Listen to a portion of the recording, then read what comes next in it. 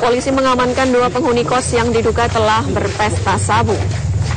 Asalnya dari dalam kamar, polisi menemukan satu paket alat isap sabu, Pirex, bong, dan sejumlah plastik kosong yang disembunyikan di kamar dan juga toilet. Kedua penghuni kos langsung digelandang ke Mapolsek Tamalate, Makassar. Polisi juga melakukan penggerebekan berdasarkan laporan warga yang resah dengan aktivitas rumah kos yang selalu tertutup dan mencurigai kedua penghuni kos yang sering datang di waktu malam hari. Tutup gitu, tutup gitu.